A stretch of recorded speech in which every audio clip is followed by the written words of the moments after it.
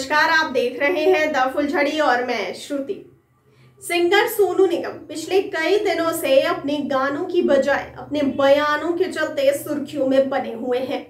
Singer कई बार Hindi reality shows को फेक बताते हुए इन्हें जज करने से इनकार कर चुके हैं।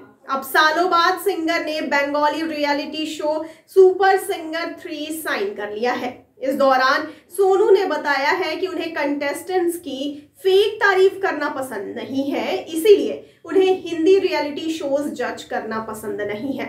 सिंगर का कहना है कि रियलिटी शोज़ में खराब कंटेस्टेंट्स की भी तारीफ़ करने का दबाव होता है। ये पहली बार नहीं है जब सोनू निगम अपने विवादित बयानों से सुर्खियों में रहे हैं। आइए जानते हैं वो कौन कौन से बयान रहे हैं जिनसे उन्होंने खूब सुर्खियाँ बटोरी हैं। सबसे पहले बात कर लेते हैं माँ काली पर विवादित बयान की। आपको बता दें कि कुछ समय पहले राधे माँ के पहनावे और उनकी लाइफस्टाइल पर सवाल उठे थे। इस पर सोनू निगम ने राधे माँ की तुलना माँ काली से करते हुए कहा था कि माँ काली भी छोटे कपड़े पहनती थी, लेकिन कभी किसी ने उन पर सवाल खड़ा नहीं किया। इस बयान के बाद सोनू निगम को काफ़ी आलोचना झेलनी पड़ी थी। आगे बात करते हैं। टी सीरीज़ पर आरोप उन्होंने लगाए थे। जी हाँ सोनू निगम ने सुशांत सिंह राजपूत के निधन के बाद टी सीरीज़ को म्यूज़िक इंडस्ट्री का माफिया बताया था। सोनू ने सोशल मीडिया पर शेयर किए गए एक वीडियो में कहा था कि वो इन्हें एक्सपोज करेंगे। विवाद बढ़ने के बाद दिव्या खोसला, पति भूषण कुमार के बचाव में आई थी। आगे बात कर लेते हैं, जब अजान पर आपत्ति उठाई गई थी। जी हाँ सोनू निगम ने एक वीडियो जारी कर कहा था कि अजान की आवाज़ से उनके सिर में दर्द होता है। रोज सुबह घर के पास स्थित मस्जिद से जब आजान की आवाज़ आती है तो उनकी नींद भी खराब होती है।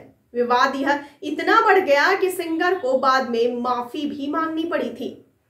आगे आपको बता दें, जब उन्होंने कहा था कि वे बेटे को भारत में सिंगर नहीं बनाना चाहते। जी हाँ सोनू की ही तरह उनके बेटे निवान भी अच्छे सिंगर हैं। हालाँकि सोनू उन्हें भारत में सिंगर नहीं बनाना चाहते, क्योंकि सोनू ने कहा कि मैं नहीं चाहता कि मेरा बेटा भारत में रहे और यहाँ सिंगर बने। भारत में नाम कमाने वाले सोनू का ये बयान काफ़ी विवादों में था। सोनू ने यह भी कहा था कि काश सिंगर होता। जी हाँ आपको बता दें कि भारतीय सिंगर्स से गाना गाने के लिए पैसे लिए जाने पर आपत्ति उठाते हुए सोनू निगम ने पाकिस्तान को बेहतर बताया था। उन्होंने कहा था कि हम पाकिस्तान से होते तो ज़्यादा अच्छा रहता।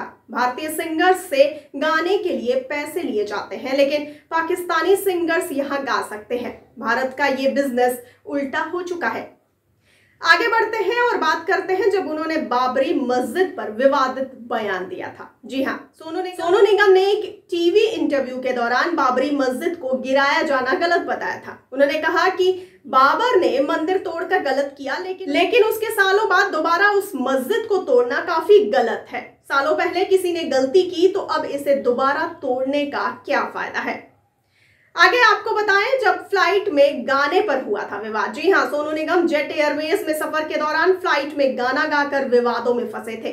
उन्होंने फ़्लाइट में उद्घोषणा प्रणाली का इस्तेमाल कर गीत गाया था। इसके बाद क्रू मेंबर्स को निलंबित कर दिया गया था।